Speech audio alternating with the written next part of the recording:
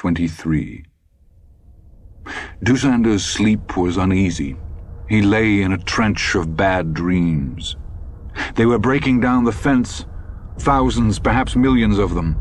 They ran out of the jungle and threw themselves against the electrified barbed wire, and now it was beginning to lean ominously inward.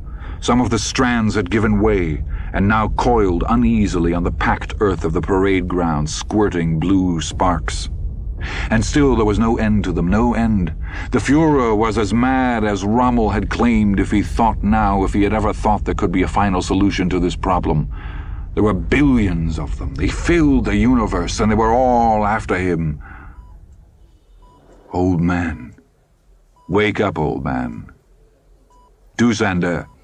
Wake up, old man. Wake up. At first he thought this was the voice of the dream. Spoken in German, it had to be part of the dream. That was why the voice was so terrifying, of course. If he awoke, he would escape it, so he swam upward. The man was sitting by his bed, on a chair that had been turned around backwards. A real man. Wake up, old man, this visitor was saying. He was young, no more than thirty. His eyes were dark and studious behind plain steel-framed glasses. His brown hair was longish, collar-length, and for a confused moment Dussander thought it was the boy in a disguise. But this was not the boy, wearing a rather old-fashioned blue suit much too hot for the California climate. There was a small silver pin on the lapel of the suit, silver the metal you use to kill vampires and werewolves. It was a Jewish star. Are you speaking to me? Dussander asked in German. Who else? Your roommate is gone. Heisel? Yes, he went home yesterday.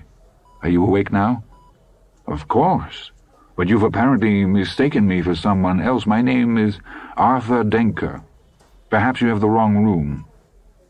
My name is Weiskopf, and yours is Kurt Dussander. Dussander wanted to lick his lips, but didn't. Just possibly this was still all part of the dream, a new phase, no more. Bring me a wino and a steak knife, Mr. Jewish Star, in the lapel, and I'll blow you away like smoke. I know no Dussander, he told the young man. I don't understand you. Shall I ring for the nurse? You understand, Weiskopf said. He shifted position slightly and brushed a lock of hair from his forehead. The prosiness of this gesture dispelled Dussander's last hope. Heisel, Weiskopf said, and pointed at the empty bed. Heisel, Dussander, Weiskopf, none of these names mean anything to me. Heisel fell off a ladder while he was nailing a new gutter onto the side of his house, Weiskopf said. He broke his back. He may never walk again. Unfortunate. But that was not the only tragedy of his life. He was an inmate of Patin, where he lost his wife and daughters. Patin, which you commanded. I think you are insane, Dussander said. My name is Arthur Denker. I came to this country when my wife died. Before that I was... Spare me your tale, Weiskopf said, raising a hand. He had not forgotten your face. This face. Weiskopf flicked a photograph into Dussander's face like a magician doing a trick. It was one of those the boy had shown him years ago, a young Dussander in a jauntily cocked SS cap, seated behind his desk. Dussander spoke slowly, in English now, enunciating carefully. During the war, I was a factory machinist. My job was to oversee the manufacture of drive columns and power trains for armored cars and trucks. Later, I helped to build Tiger tanks. My reserve unit was called up during the Battle of Berlin, and I fought honorably, if briefly. After the war, I worked in Essen at the Menschler Motor Works until until it became necessary for you to run away to South America with your gold that had been melted down from Jewish teeth and your silver melted down from Jewish jewelry and your numbered Swiss bank account. Mr. Heisel went home a happy man, you know. Oh, he had a bad moment when he woke up in the dark and realized with whom he was sharing a room. But he feels better now. He feels that God allowed him the sublime privilege of breaking his back so that he could be instrumental in the capture of one of the greatest butchers of human beings ever to live. Dussander spoke slowly, enunciating carefully. During the war, I was a factory machinist. Oh, why not drop it? Your papers will not stand up to a serious examination. I know it, and you know it. You are found out. My job was to oversee the manufacture of, of corpses. One way or another, you will be in Tel Aviv before the new year. The authorities are cooperating with us this time, Dussander. The Americans want to make us happy, and you are one of the things that will make us happy. The manufacture of drive columns and power trains for armored cars and trucks. Later, I hope to build Tiger tanks. Why be tiresome? Why drag it out? My reserve unit was called up very well then. You'll see me again, soon. Weisskopf rose. He left the room. For a moment his shadow bobbed on the wall, and then that was gone too. Dussander closed his eyes. He wondered if Weisskopf could be telling the truth about American cooperation. Three years ago, when oil was tight in America, he wouldn't have believed it. But the current upheaval in Iran might well harden American support for Israel. It was possible. And what did it matter? One way or the other, legal or illegal, Weisskopf and his colleagues would have him. On the subject of Nazis, they were intransigent and on the subject of the camps they were lunatics. He was trembling all over, but he knew what he must do now. 24. The school records for the pupils who had passed through Santo Donato Junior High were kept in an old rambling warehouse on the north side. It was not far from the abandoned train yard. It was dark and echoing, and it smelled of wax and polish and 999 industrial cleaner. It was also the school department's custodial warehouse. Ed French got there around four in the afternoon, with Norma in tow. A janitor let them in, told Ed what he wanted was on the fourth floor, and showed them to a creeping, clanking elevator that frightened Norma into an uncharacteristic silence. She regained herself on the fourth floor, prancing and capering up and down the dim aisles of stacked boxes and files, while Ed searched for and eventually found the files containing report cards from 1975. He pulled the second box and began to leaf through the B's. Bork, Bostwick, Boswell, Bowden, Todd. He pulled the card, shook his head impatiently over it in the dim light, and took it across to one of the high, dusty windows. Don't run around in here, honey, he called over his shoulder. Why, Daddy? Because the trolls will get you, he said, and held Todd's card up to the light.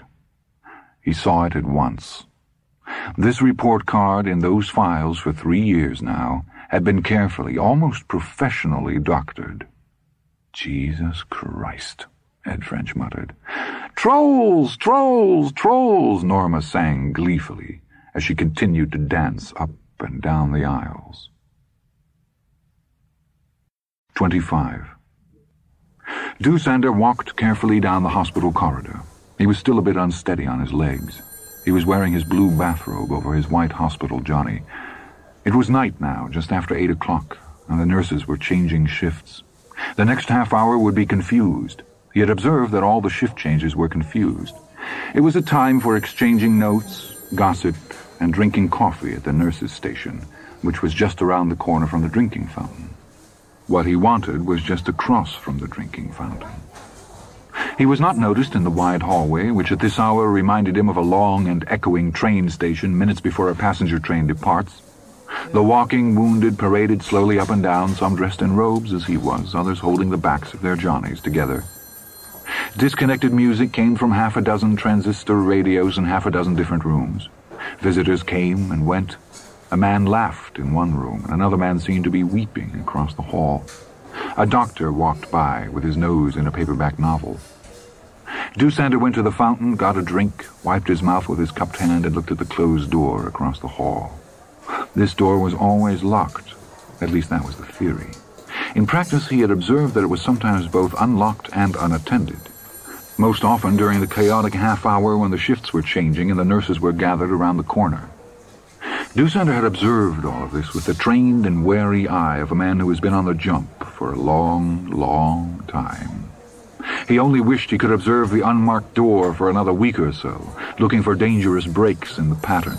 He would only have the one chance. But he didn't have another week. His status as werewolf in residence might not become known for another two or three days, but it might happen tomorrow. He did not dare wait. When it came out, he would be watched constantly. He took another small drink, wiped his mouth again, and looked both ways. Then, casually, with no effort at concealment, he stepped across the hall, turned the knob, and walked into the drug closet. If the woman in charge had happened to already be behind her desk, he was only near-sighted Mr. Denker. So sorry, dear lady, I thought it was the WC. Stupid of me. But the drug closet was empty. He ran his eye over the top shelf at his left.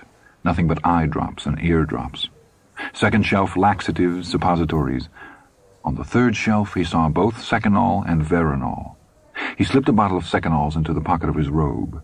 Then he went back to the door and stepped out without looking around, a puzzled smile on his face. That certainly wasn't the WC, was it? There it was, right next to the drinking fountain. Stupid me.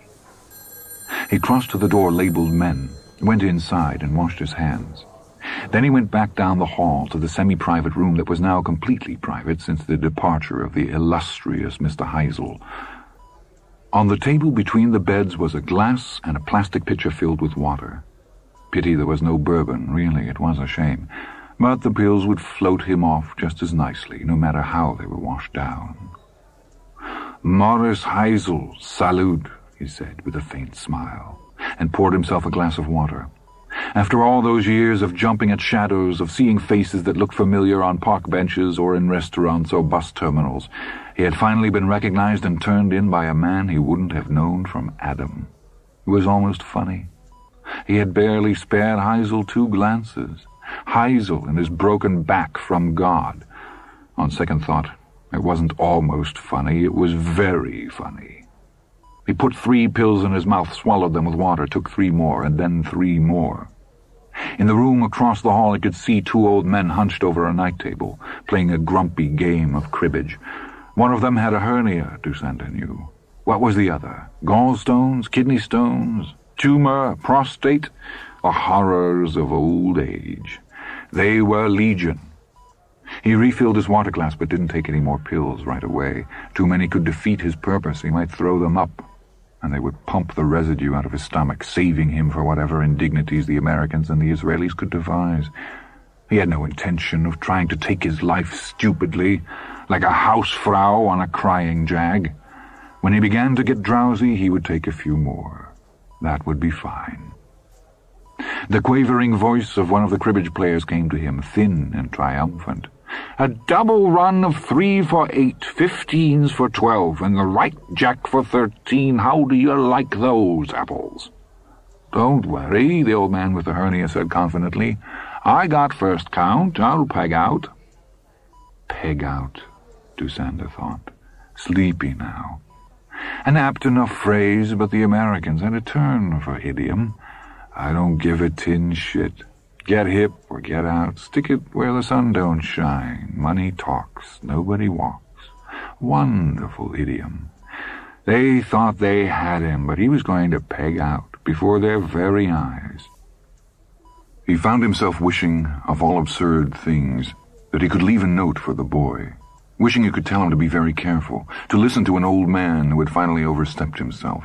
He wished he could tell the boy that in the end he, Dussander, had come to respect him, even if he could never like him, and that talking to him had been better than listening to the run of his own thoughts.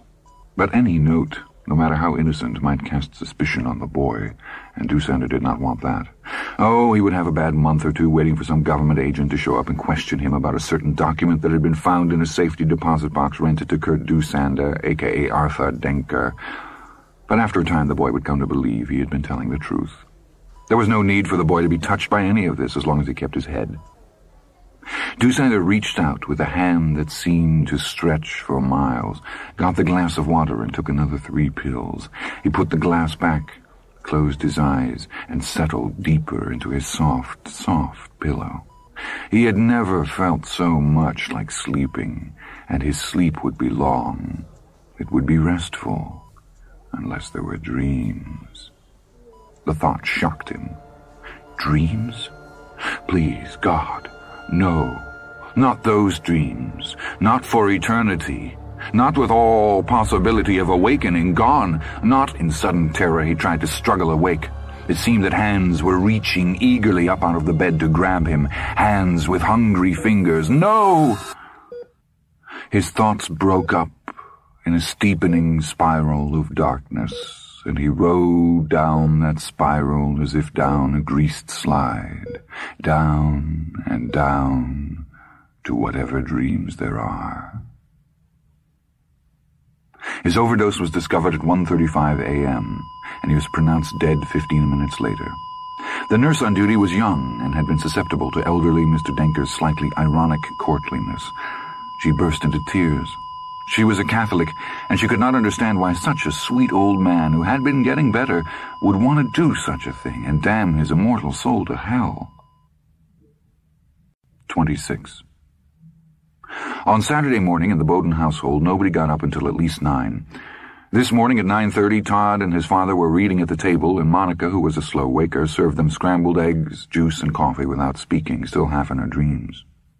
Todd was reading a paperback science fiction novel, and Dick was absorbed in Architectural Digest when the paper slapped against the door. Want me to get it, Dad? I will. Dick brought it in, started to sip his coffee, and then choked on it as he got a look at the front page. Dick, what's wrong? Monica asked, hurrying toward him. Dick coughed out coffee that had gone down the wrong pipe, and while Todd looked at him over the top of the paperback in mild wonder, Monica started to pound him on the back. On the third stroke, her eyes fell to the paper's headline, and she stopped in mid-stroke as if playing statues. Her eyes widened until it seemed they might actually fall out onto the table. Holy God up in heaven, Dick Bowden managed in a choked voice. Isn't that... I can't believe... Monica began, and then stopped. She looked at Todd. Oh, honey. His father was looking at him, too. Alarmed now, Todd came around the table. What's the matter? Mr. Denker, Dick said. It was all he could manage. Todd read the headline and understood everything. In dark letters it read, Fugitive Nazi commits suicide in Santo Donato Hospital. Below were two photos, side by side. Todd had seen both of them before. One showed Arthur Denker, six years younger and sprier. Todd knew it had been taken by a hippie street photographer and that the old man had bought it only to make sure it didn't fall into the wrong hands by chance. The other photo showed an SS officer named Kurt Dussander behind his desk at Patin, his cap cocked to one side. If they had the photograph the hippie had taken, they had been in his house. Todd skimmed the article, his mind whizzing frantically. No mention of the winos, but the bodies would be found and when they were, it would be a worldwide story. Patin Commandant never lost his touch. Horror in Nazi's basement. He never stopped killing. Todd Bowden swayed on his feet. Far away, echoing, he heard his mother cry sharply, Catch him, Dick, he's fainting! The word fainting, fainting, fainting repeated itself over and over. He dimly felt his father's arms grab him. And then, for a little while, Todd felt nothing heard nothing at all. 27. Ed French was eating a Danish when he unfolded the paper. He coughed, made a strange gagging sound, and spat dismembered pastry all over the table. Eddie, Sandra French said with some alarm. Are you okay? Daddy's choking, Daddy's choking, little Norma proclaimed with nervous good humor, and then happily joined her mother in slamming Ed on the back. Ed barely felt the blows. He was still goggling down at the newspaper. What's wrong, Eddie? Sandra asked again. Him!